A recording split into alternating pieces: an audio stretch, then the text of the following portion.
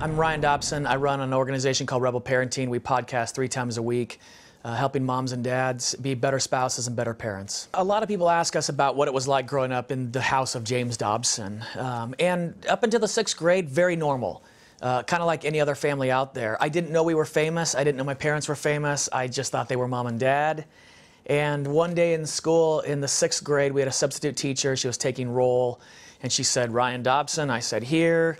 And she goes, Oh, like Dr. Dobson. And I go, Well, yeah, that's my dad. And she said, Oh, honey, I know you wish he was. And I thought, What a weird thing to say. Like, this is just my parents. And I didn't respond. And in that instant, the whole classroom erupts, and everybody's going, That's his dad. His dad's James Dobson. And I thought, why does everyone know who my dad is? What's going on? And then she got really embarrassed. I couldn't understand that. I mean, I'm just a regular sixth grader. The next day I show up at school, still have a substitute teacher, and now she's got a stack of my dad's books for me to bring home for him to autograph for her. And I thought, what is going on? And that was kind of the floodgates opening. I didn't know that all the carpools were listening to my dad's show every day on the way to school, that he was telling stories about us. And apparently that was the trigger that let everybody know, like, oh, now we can talk about who your dad is in front of you. And uh, that was a little strange, I gotta be honest. And I run my own ministry. And so there was that kind of trepidation of, I think I can help people, but I grew up with a family of experts. And I'm not an expert, I'm a parent. I'm a husband. I fail all the time. I'm stumbling through life just trying to get a little better every day. My dad was an expert, expert. He did the Focus on the Family film series released in 1979, and he was 43. It's really young. But at 43, he had an undergrad, an earned PhD from USC. He was on staff at Children's Hospital of Los Angeles. He was a professor of pediatrics at USC School of Medicine, professor of family development at Point Loma. He had been a teacher, a junior high counselor, a high school counselor, a district counselor, private practice counselor, and he had three bestsellers. At 43, like, he really, really knew what he was talking about. And what he really tried to do is use his PhD in science to prove what he already knew to be true from the Bible. And so he was telling people listen, science and the Bible don't butt heads. It's completely intermeshed, it goes hand in hand together. The Lord knew that I created you before you were born, I knit you together in your mother's womb. You've got a unique personality. And when he was getting his PhD in the 60s, they were saying children are tabula rasa, they are blank slates, and it's all the parent. However, your child acts is 100% your fault. Well, parenting already induces so much shame and so much guilt, and it's this job that you don't know if you're doing a good job until it's far too late. And he was saying, I, I think kids are born with a temperament. You know, my sister was strong willed. I was really compliant, but we came out of the womb that way. You didn't have to, you know, you'd look at me funny in the rearview mirror and it would be like, what, sit, stand, sit, no, jump, sit, what do I do? And you Danae was a little bit different. She was more, you know, she had that kind of fighter spirit growing up.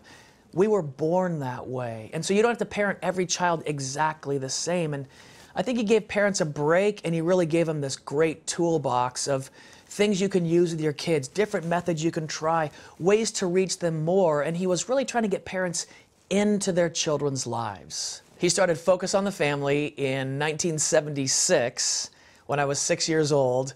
And then the Focus on the Family film series came out in 79. He's a unique individual. Uh, at one time, he was speaking to 330 million people every single week. He had seven of the top 10 bestsellers at the same time. I mean, he is amazing. And I was telling him all this. He was like, Ryan, stop. And I'm like, isn't it amazing that the Lord has used you in such mighty ways? I mean, you've advised four presidents over decades and decades and decades. He's still doing it in his 80s. He works five days a week. He's doing radio five days a week. In the last six years, he wrote four books, did a new film series, put out an undergrad and graduate curriculum through Liberty University. He's just amazing. About eight years ago, Focus on the Family, my dad split ways, and I kind of thought he'd retire. You know, he had done, uh, in my view, he had done enough. And I was on vacation, and he called and said, I'm going to start a new ministry. And I said, Really? Do you want to? And he said, Well, not really. And I said, Well, then why are you doing it? He said, The Lord told me last night he's not done with me yet.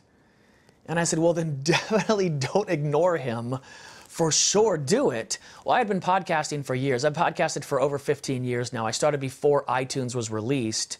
And I, I know it's so silly. I read about podcasting in Wired Magazine. I remember thinking that day, oh, I'm going to do this the rest of my life. This is what I'm going to do forever. And I went home. There was no iTunes. It was just so complicated and so convoluted. But I really believed in it. And so I'd been podcasting for years at that point. Uh, and when he said he was going to go back on the radio, I said, I really want to try out and be your co host. And he laughed. And I thought, hey, I'm really good at this. I've been doing this for a while. You got to let me try out. And to his credit, this is completely my dad. He said, Well, Ryan, I mean, we can try this, but if we don't work together well and if you're not good, if people don't like you, then I can't keep you as my co host. I mean, just because you're my son doesn't mean you can do this. And I was like, Well, I think I'm pretty good at this. I think we might work out well. And we had a ball. I'm telling you, I have never learned more about broadcasting and interviews and how to be a co host. It is so hard to be a co host. And early on, he'd be interviewing like Chuck Colson, and they're, they're talking about these amazing, brilliant things. And I'm just sitting there like, oh my goodness. And I remember his producer at the time wrote me a note like, you need to talk more on the broadcast. And I was like, who wants to hear from me? It's Chuck Colson and my dad. And they were like, but you're a young parent. You're newly married. This is your wheelhouse. And they really pulled me out of my shell. And I mean, we had uh, six or seven years together. I was vice president of broadcast. And I mean, mean, what better thing to do? It's hanging out with your dad every single day, interviewing these brilliant minds, all while helping the family. I mean, what a treat. And then I get to do it today. I did a Facebook Live interview yesterday. It was uh, out on the internet. Last night, I had a mom email me saying, My husband and I just found out our 14 year old's been sneaking out of the house. She lost her virginity. We're heartbroken. We don't know what you can, we don't know what to do. Can you help us? And I was like, Well, time to put the big boy pants on. Like, that's what I asked for. The crises we get at Rebel Parenting, uh, pornography, addiction, infidelity. It's everywhere. I mean, it's just everywhere. This overreaching thing that we get that I finally named, we call it together alone. And you've got a husband and wife on the couch, and he's watching Sports Center on the TV, and she's on Instagram on her phone. And they're together, but they're alone. Oh, they're up in bed, and she's watching, you know, Desperate Housewives, and, and he's watching a movie on his iPad. And they're in close proximity, but they're drifting apart. You know, and the culture is driving that. And we're saying, my goodness, when marriage is good, there is no describing it. It is, it is like you're on the. My wife believes I can do things I know that I can't do. How crazy is that? Like she she believes with all of her heart I can do things that I know in my heart I cannot do, but because she believes in me that way, I do these things. And that's what a great marriage is. When marriage is bad, it's the loneliest place in the world.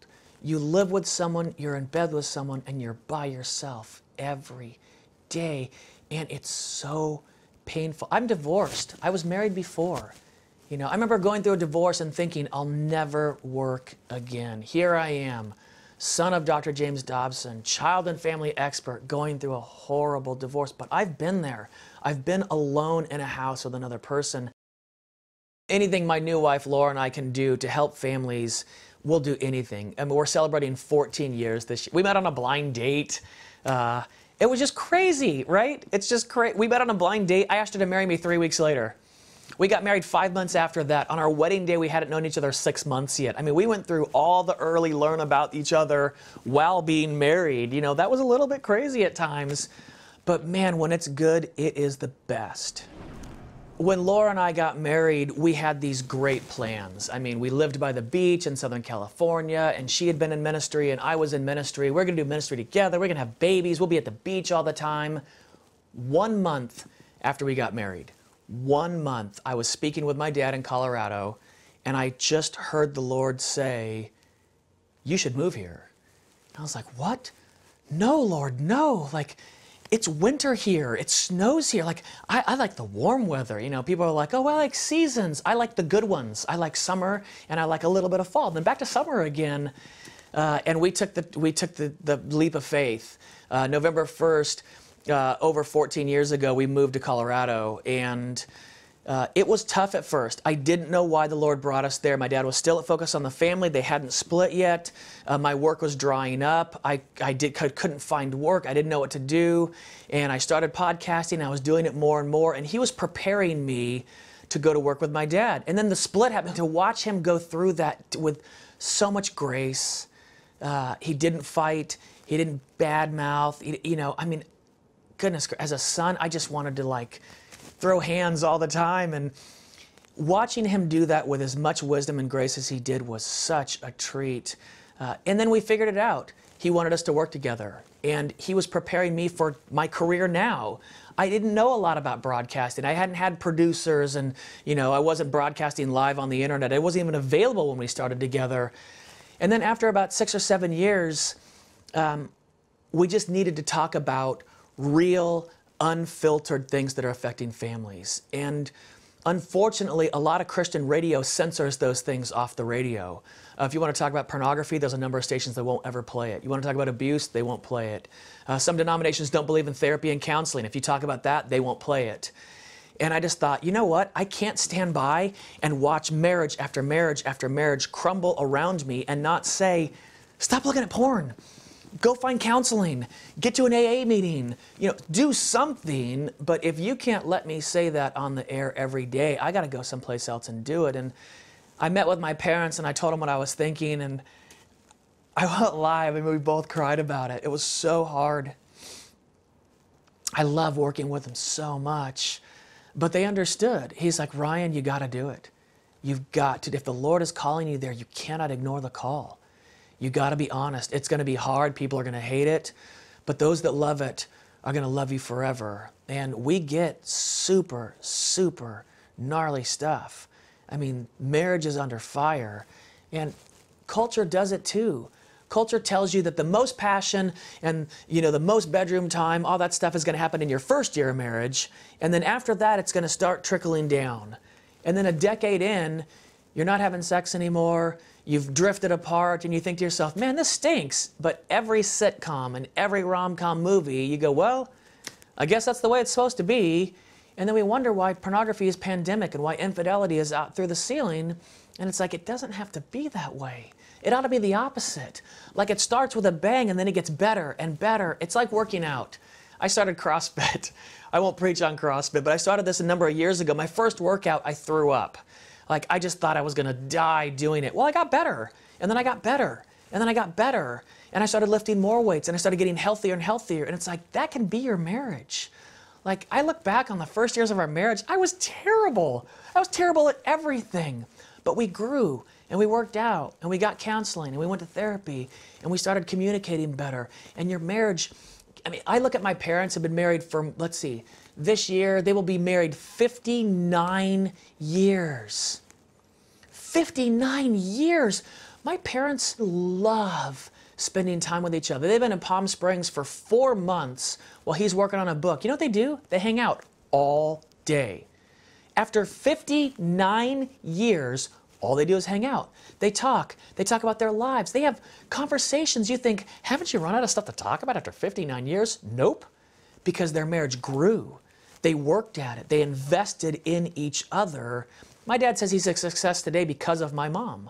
I believe that. She was too. National Day of Prayer president for 25 years. Why? Because my dad said, I believe in you. You can do this. It's what we all want. God is love, and love comes from God. In 1 John, the Bible tells us that God is not only all loving, but that He actually is love itself. The heart of the Parent Compass television show is to bring the transforming love of God to families everywhere. In every Parent Compass episode, true stories reveal family struggles and how their lives were radically changed by the love of God. Parent Compass, an award winning television series, is completely funded by people like you. If you have been touched by God and you want to share God's love to others, would you please pass it on? Jesus tells us to go into all the world and to tell about Him. With your donation, you allow us to take this television show into many different nations and in many different languages, free of charge. And a portion of your donation goes to Parent Compass Outreach to feed starving children. Your gift does so much. To make your tax deductible gift, go to parentcompass.tv forward slash donate. That's parentcompass.tv forward slash donate. And thank you for sending love and hope around the world.